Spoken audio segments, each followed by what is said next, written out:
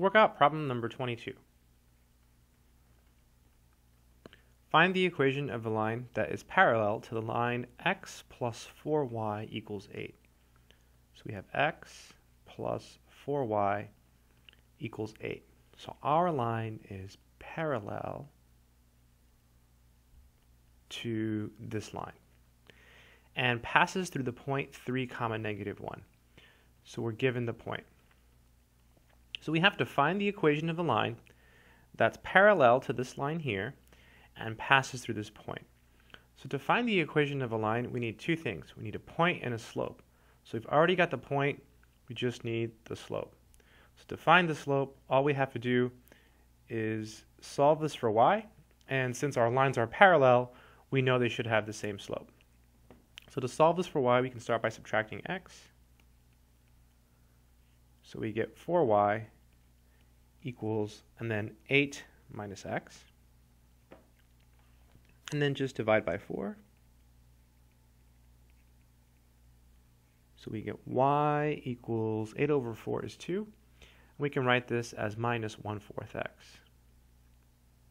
You can rearrange this if you like. You can write it as minus 1 fourth x plus 2. So mx plus b, that's the form. So m here is equal to negative 1 fourth because our line is parallel to this line.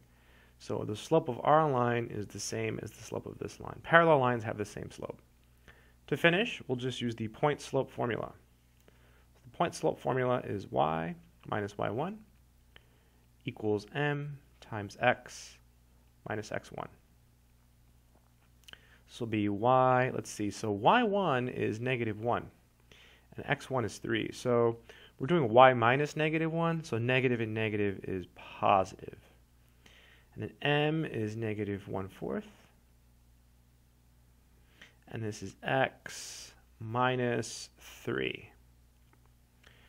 All right, um, so one way to do this is to get rid of the fractions. So I'll do it that way. So to get rid of the fraction, we'll multiply by 4 on both sides. So here we'll get 4y plus 4. These will cancel, and then we'll distribute the negative 1. So we'll end up with negative x, and then negative 1 times negative 3 is positive 3. Almost there.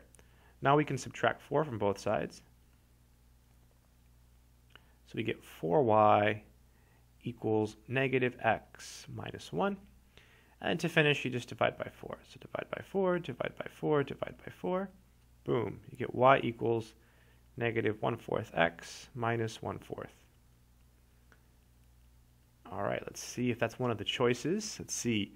Negative 1 fourth x minus 1 fourth. Yep, yep, it is. It's B. So the answer is B. I hope that helped.